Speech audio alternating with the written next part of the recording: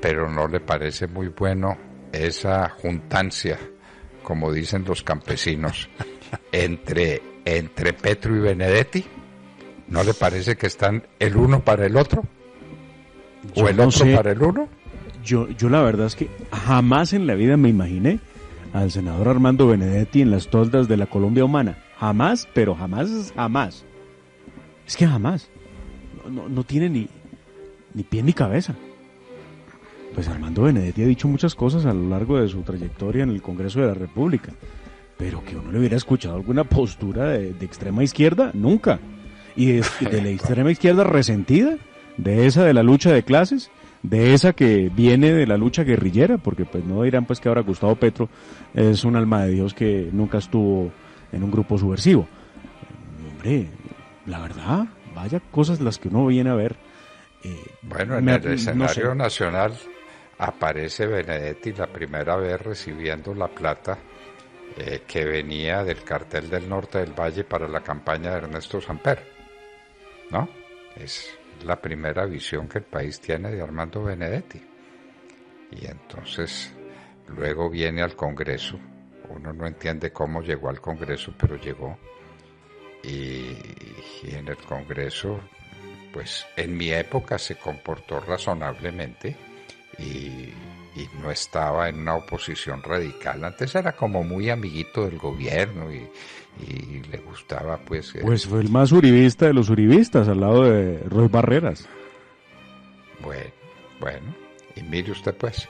Pero entonces deja colgado de la brocha, deja colgado de la brocha a Roy Barreras que se retira del partido de la U, lo secunda eh, Armando Benedetti, porque van con la idea del famoso partido LSD, que aclaramos siempre, no es una sustancia. o SB?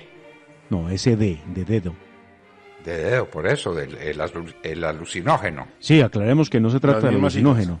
Sí, las, mismas siglas, sí. Eh, pero que realmente significa liberal socialdemócrata, el partido que, que funda o que pretende fundar Roy Barreras, quien seguramente será candidato presidencial por ese movimiento político. Y Armando Benedetti lo iba a acompañar.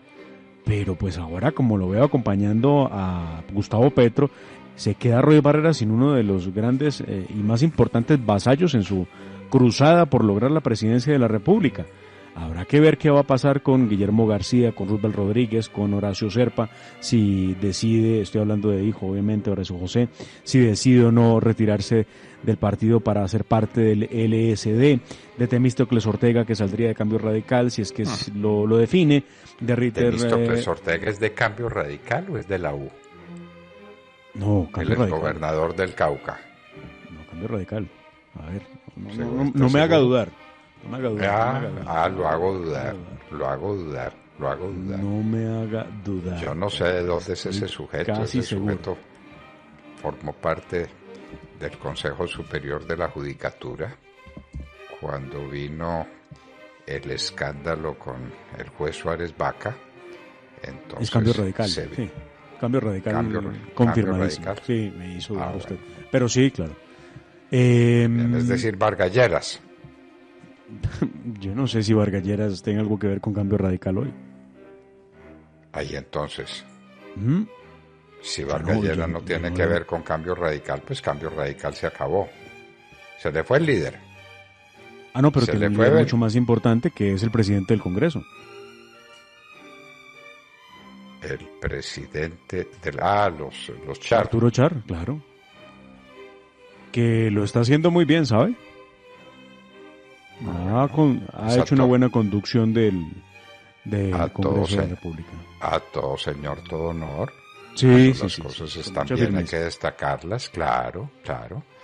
Sorprendentemente, porque no tenía ningún antecedente político y nadie, nadie estaba muy seguro de, de sus luces y de su capacidad para manejar situaciones políticas y usted nos cuenta que lo está haciendo muy bien. Lo está haciendo, lo está haciendo bien. Sí, lo está haciendo bien. Sabe conducir muy bien el debate.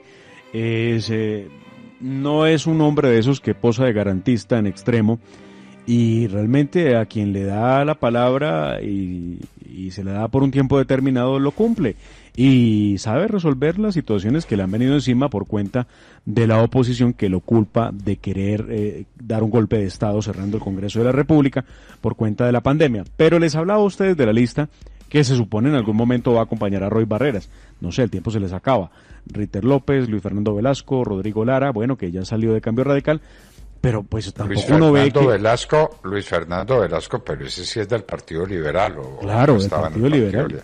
Sí, sí, sí, ah, del Partido Liberal. Y, ah, pues, entonces lo mismo que Temístocles Ortega o que Horacio José Serpa eh, piensen en, irse con, con, con Roy Barreras para el LSD, pues vaya uno a ver que eso sea una realidad. Pero sí, que ya emprendieron tres de la lista, sí, claro, Roy Barreras, Benedetti y, Lara. Falta saber de los demás, de si el doctor Jaime Durán o si eh, Andrés Cristo, el hermano de Juan Fernando Cristo, deciden irse también para el LSD que sería pues el movimiento político que según las cuentas que hacen algunos sumaría un poco más de un millón de votos para lograr, primero, personería jurídica y segundo, poner presidente de la República y el candidato. Bueno, eso, eso a modo de cooperativa electoral, eso, eso a modo de cooperativa electoral, porque eso pues termina siendo nada más que eso. ¿Cuál es la plataforma ideológica de eso? Nada, nada, ninguna.